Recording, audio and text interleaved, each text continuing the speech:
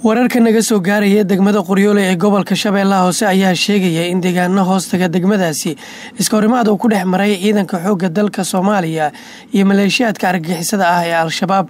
Wararka ayaa sidoo kale waxay sheegayaan in ku dhowaad toban ka tirsan argagixisada al-shabaab halkaasi lagu dilay. Ciidanka xoogga dalka soomaaliya ayaa ka hortegay weerar gaadma ah oo argagixisada ay ku soo qaadeen ciidanka oo ay doonayeen inay ku dhibaateeyaan. Ha yeeshee saraakiisha ayaa waxay noo sheegeen in ilaa iyo toban ka tirsan argagixisada al-shabaab halkaasi lagu dilay.